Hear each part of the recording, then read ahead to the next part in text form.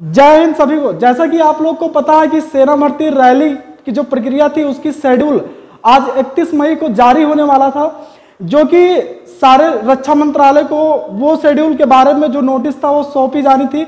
और अभी तक, अभी आपके बीच में एक बहुत बड़ी खुशखबरी निकल के आ रही है, जैसे कि उत्तराखंड की जो रैली भर्ती है, उसका शेड्यूल, जो उसका एक नोटिस था, वहाँ के प्रशासन को सौंपा जा चुका है।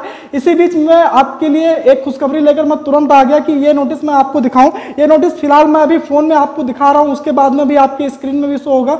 मैं पढ़ के बता रहा हूँ कि इस नोटिस में क्या लिखा हुआ है। इस नोटिस में लिखा हुआ है, कर्नल मुनीष शर्मा, डायरेक्टर सेना भर्ती कार्यालय लैश डाउन को इतना दिनांक 25 पाँच को जनपद पौड़ी में माह नवंबर दिसंबर 2022 में स्थान बीसी गब्बर सिंह कैंप कौड़िया में भर्ती रैली का आयोजन किया जाना प्रस्तावित है, जिसमें उत्तराखंड के सात जनपदों, पौड़ी, चमोली, रुद्रप्रयाग, टेहरी उत्तरकाशी देहरादून और हरिद्वार के युवाओं के लिए भर्ती की योजना की जाएगी। वहाँ पे गब्बर सिंह स्टेडियम में इस प्रोग्राम को बनाया जा रहा है।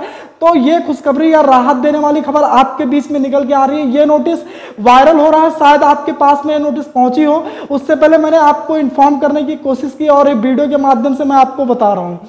तो खुशखबरी यह है कि जैसे कि उत्तराखंड की भर्ती प्रक्रिया अब आपके बीच में दिखाई पड़ रहा है तो हम यही कामना करेंगे भगवान से कि जल्दी की उत्तर प्रदेश, बरेली, आरो या लखनऊ जडारो जहाँ की भी भर्ती है सारी प्रक्रिया जल्दी दिखाई पड़े और नई सेना भर्ती रैली करवाई जाए। और एग्ज़ाम को लेकर अभी तक कोई भी अपडेट नहीं है आपके सामने कोई भी परेशान मत, होगा।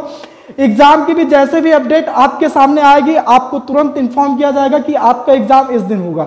तो मिलते हैं फिर नेक्स्ट वीडियो में नए अपडेट के साथ में। तब तक के लिए जय हिंद जय भारत। सावधान रहें दलालों से सावधान रहें अपना और अपनों का ख्याल रखें। Love you all take care bye bye जय हिंद जय भारत।